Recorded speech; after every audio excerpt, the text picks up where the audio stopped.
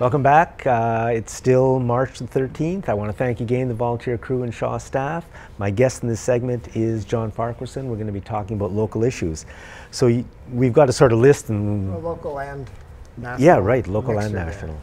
Um, so, one of our city councilors, Laurel Collins, is um, throwing her hat into the ring to run uh, as to get the nomination Yep. from the NDP to run federally.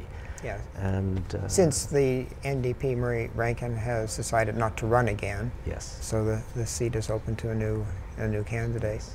and uh, I, you know, I got her a Facebook comment from her about this, and there was a lot of support from different people saying, "Yeah, go, go, Laurel." I personally didn't like it. Because because uh, I think when you just run for and won a seat on Victoria City Council, you owe a little more time than that to the people who voted for you instead of to move on to a different and better job. Now, that's how I see it. I'm not saying I'm right, but that's how I see it. yeah, I come at it from a sort of a door knocking perspective. So I've knocked on a lot of doors for different uh, for different candidates, uh, nationally, provincially, and uh, civic. And uh, personally, um, I know that if I'd gone out and invested a lot of time, a lot of energy in knocking on doors, thinking that this person was going to, you know, be here for the duration and was really committed to doing things for the city, and then to find out later that, whew, you know, she's uh, seen bigger opportunity and she's out of here, I'd be cranky. I would, I would be disappointed. But Some would, that's some just might me. not and say, some "Yeah, might not be. So I've heard that you know she's gotten tons of support. That's again my perspective as a door knocker. In terms of uh, both city government and federal government, uh, the underlying problem is is that none of them seem to care what the public thinks or feels. That's that's my take on it. Maybe maybe I'm not right, but I get the feeling that our even our city government that we're so close to. I mean, we know these people in many cases. Uh, they seem to be on a different planet. They're making decisions that they tell us about. They don't ask us about. Do we want it? Do we not want it? Who Is that on the cares? Oh yeah, okay. Cherry trees. cherry trees. It you know, it ties into the local civic government. Again, I, I, you know, blasted off this list here. I was just curious about your opinion on uh, the uh, the policy that apparently had been in place to reduce. Um, I'm sorry, to replace any uh, uh, non-indigenous trees, such as cherry trees, with indigenous trees uh, uh, once if if they died. And then there was a, and then that was apparently the policy. And I then, never knew about it. Yeah, then there was a, you know, the cher- some of the some of the cherry trees were being replaced, and then there was um, sort of a retake on, you know, having a look at that. And uh, one of the uh, claims was that well, the cherry trees were dying of, of uh, because of climate change. They couldn't live in this environment. And lo and behold, when a you know a biology forestry prof was you know consulted up at UVic, says no, no, they're not dying because of climate change. They're dying because they're old, and they have a very good resilience to all sorts of you know climates in in uh, in Asia. So uh, what I'm what, what I was taken with is the um, is the certainty on behalf of you know some politicians that this was all due to climate change, and lo and behold, it isn't. It's just simply due to old age. So I uh, just uh, threw that out for your consideration in terms of topics, but we can move along. Well, uh, personally, I like the cherry trees. I do too, and they're, they have cultural value. Yeah, and I think if deci- these decisions are made, somehow the public should be involved in making or at least knowing about these decisions so we have some idea of what's going on in our city. But they did, you know, in the sense, what I liked about it is that the it, uh, one of the counselors brought it to, you know, questioned it, right? He just didn't say, oh, climate change, and then okay, that's uh, then I'm just going to go along with it. He questioned it, and he said, okay, let's let's look at all the variables here, and that was, you know, Geoff Young. He questioned it, and then other people, members of the public. Uh, paid attention and they got involved, gave their two cents worth, and lo and behold, um, you know, there was there, there was some public input, so things did get changed. So that was good to see. Okay. Uh, next on the list, uh, Mayor, our city mayor here in Victoria, Lisa Helps, goes to Alberta. With an open mind, I didn't even know she went. Oh well, no, right, right. I, it, has she gone, or is that? I'm not sure if she has, or she's uh, sometime this month. Right, and the idea was because Victoria is uh, speaking out on climate change, she's been Victoria's, invited. Victoria's, I think, has or is going to become party to a, a suit against large oil companies. Um, uh, because of climate change, right? For contributing to climate, change, because their product contributes when it's used, contributes part of a lawsuit. Part of a lawsuit and apparently there's, there's other cities that have signed on. And um, didn't know that either. well, this is going to be one-sided then because uh, she wanted to go to uh, uh, to the oil sands, have a look at what they were doing, and she said she was going to go with an open mind. And I, you know, my question was, well, okay, you're part of a suit for uh, large oil companies that are, you know, taking, uh, you know, shipping dilbit. Uh, so I'm just questioning the open mind. Mm. That's that's the only thing I would throw out there in terms of. Yeah, I mean, to me, the real issue is that everybody's future is in dire jeopardy. Yep. Why, instead of that being the story, the story is that we're fighting the people of Alberta. It's all everybody. It's all of us and all everybody's futures that are in jeopardy I mean, I'm all for the people of Alberta. They're great people, you know, and they deserve good jobs like everybody else. But they can't be in that industry, and we should have started changing 20 years ago, but we didn't. and that's, I mean, that's the leadership of our country. You know, it's pathetic. the statue of Sir John A. Macdonald. Yeah. I'm not sure if you've talked about this on your show before, um, but uh, what was your take on what should have been done, what was done? Could it have been handled differently?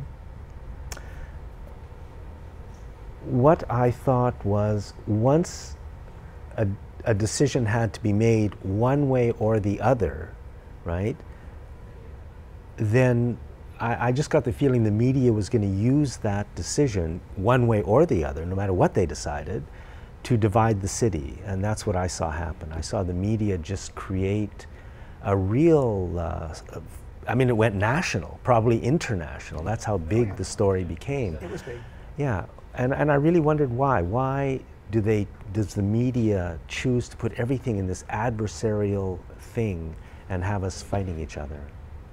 Yeah, my take was a bit different. My take was I was really there was a you know there was this I think it was called the City Family something like that. There was a it was a committee and it met I think every week or so and uh, discussed various issues. But this was obviously a huge issue because apparently the city had been asked by leaders from local First Nations to remove the statue because they didn't feel that they should be faced with, you know, the, uh, uh, with Sir John A. Macdonald, given his history with residential schools and so on.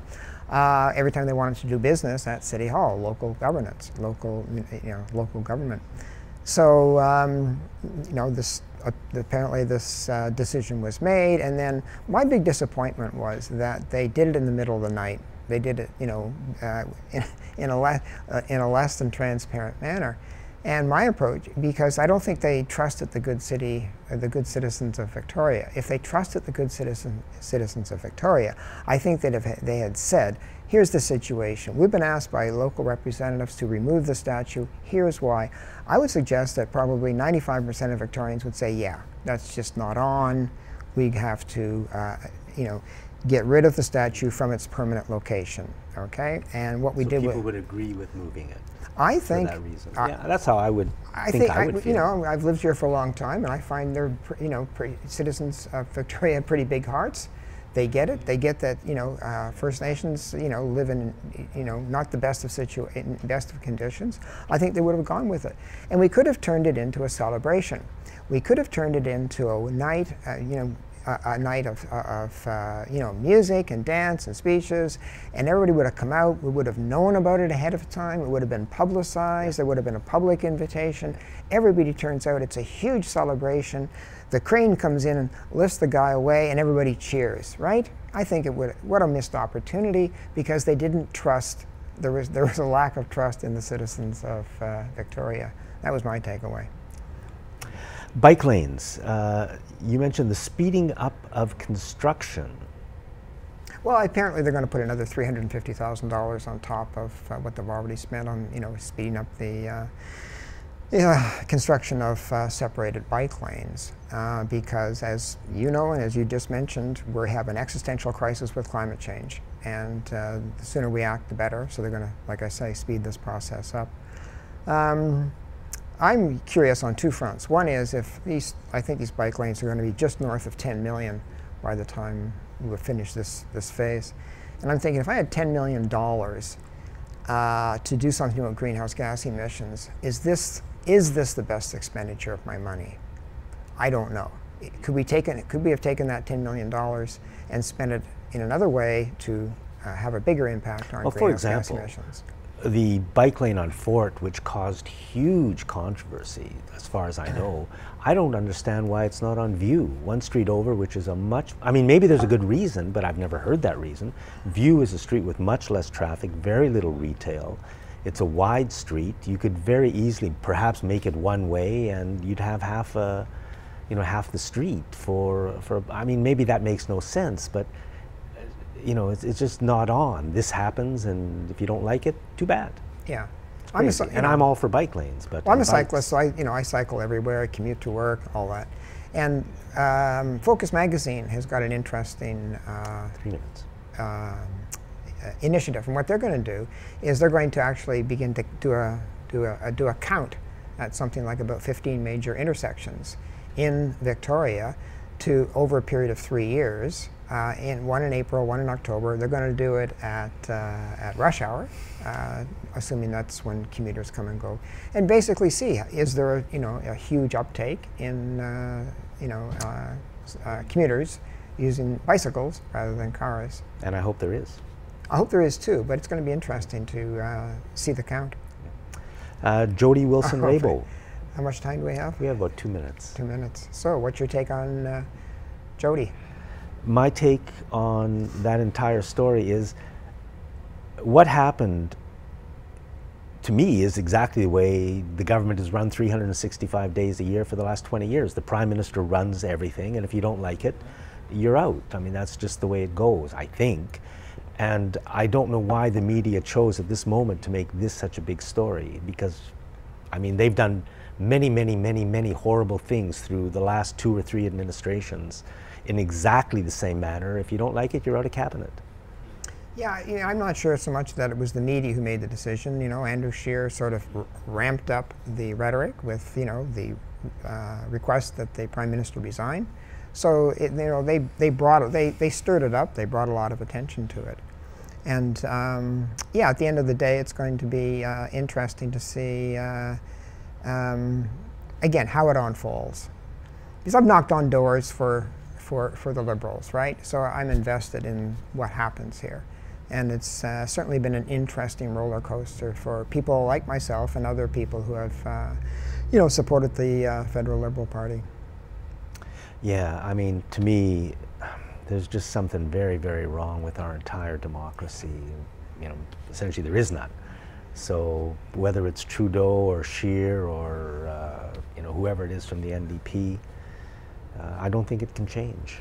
You know, what we've got to do is get get a system that's more democratic, and we can do that. There are concrete things we can do to get a more democratic system, which gives people more of a voice and the one percent less of a voice. But uh, but we're not doing it. Last thing was changes to city election funding. Right, so the, the, provincial government initiated changes to how municipal elections are funded.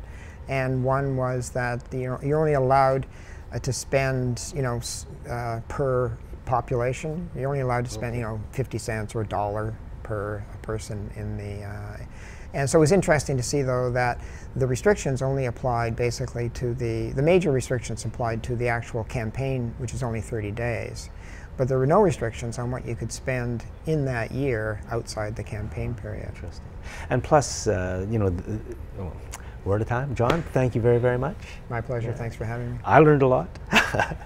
Thanks for watching this segment of Citizens Forum.